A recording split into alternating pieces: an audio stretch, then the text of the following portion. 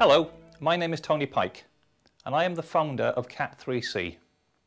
CAT3C is designed to provide supplemental training as you work your way through your ATPL studies. To help you achieve your goal of becoming a professional pilot, CAT3C have developed an invaluable series of unique EASA ATPL exam passbooks, which have been specifically designed for the iPad and are available in the Apple iBook store. The passbooks contain hundreds of exam-style questions and are supported by clear in-depth explanations and interactive diagrams. The link to the iBooks can be found on the web page below or at the CAT3C website at the Bookstore tab. Additionally, we currently deliver three-day classroom-based general navigation courses and will also be providing future interactive online training sessions plus a range of pre-recorded video seminars.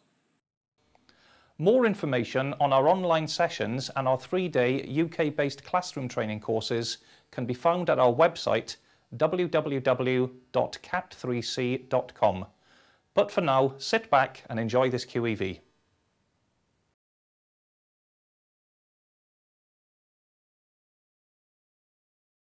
What are the respective distance and true track angle from A to B when the positions of A and B are situated on the same meridian?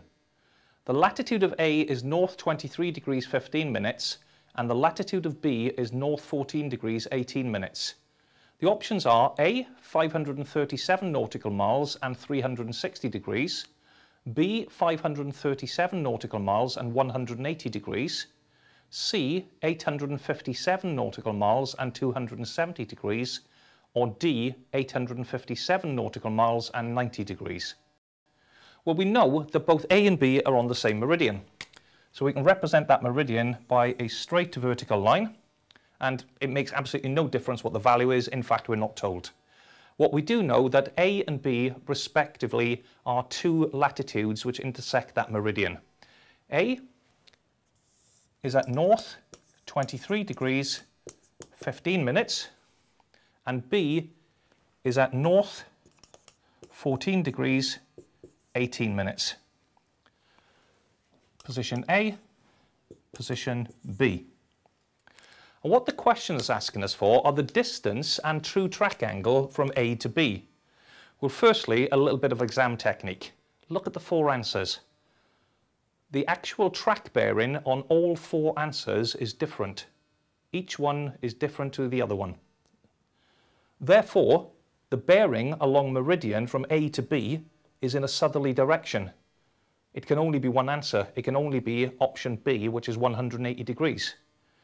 However, we'll prove the actual distance by calculating the change of latitude between A and B. Given that both positions are in the same hemisphere, we subtract the lesser from the greater. So that's 23 degrees 15 minutes, take away 14 degrees 18 minutes. I'm going to do this on the calculator. So on the calculator, I enter 2, 3 DMS button, 1, 5 DMS button, minus 1, 4 DMS, 18 DMS equals, and it gives me 8 degrees and 57 minutes. So the change of latitude is 8 degrees and 57 minutes. But of course the optional answers are in distances. So with 8 degrees 57 minutes in the calculator, I simply now press times 60 equals, and that converts it into 537 minutes.